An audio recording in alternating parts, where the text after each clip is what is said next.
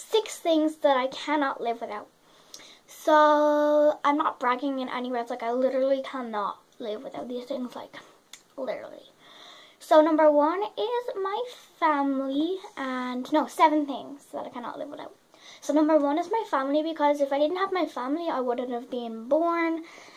So yeah. And number two is you guys. All of my little Girl Scouts.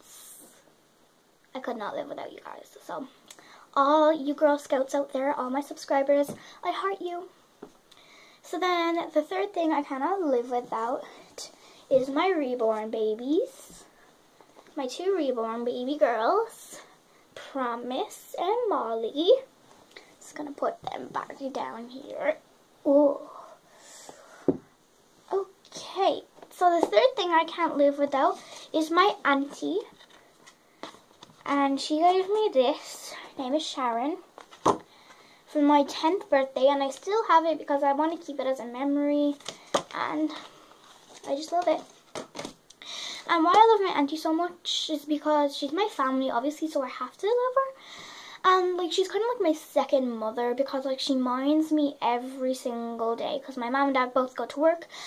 So yeah, she minds me every day. So she's always there for me and like yeah. So the third thing I cannot live without is money. Because if we didn't have money, we couldn't live because we need money to buy food and pay for like a toilet and stuff. So money is something we all cannot live without. like make it rain and little fact, this is only like 15 euro. So yeah. The third thing, no, the third thing, what, I don't, I lost count of what I'm on. I think I'm on like five or something. So the second thing I, the, well, the next thing is Jeff Kinney?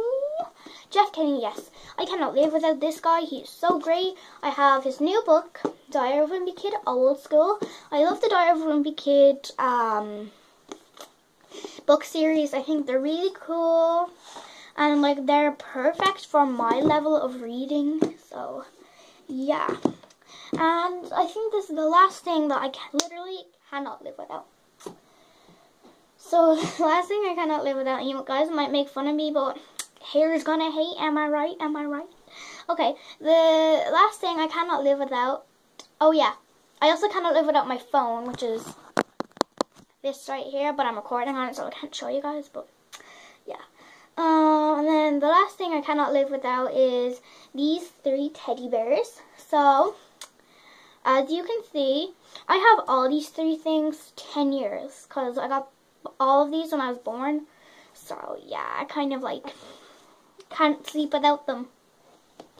So this is Linda and Ginge. Um, this is Linda named after my mom and Ginge the gingerbread man. So I snuggle with them every night. And this teddy um, my nanny gave to me when I was born, but she sadly passed away, I think, five years ago. So I was five and she passed away. I think it was five years ago, five or six years ago. And sometimes, every time, every night when I hold this, I feel like my nanny's just with me. So, yeah. So I the Holy God and my nanny to bless all of you guys and keep you guys safe. And, oh yeah, one last thing I actually cannot live without is God because God gave my mom and the dad the gift of me to bring into the world. So, yeah. Those are the things that I literally cannot live without. Because, um. Yeah. So, Thank you guys for watching. If you want to become an official Girl Scout, please hit that subscribe button down below.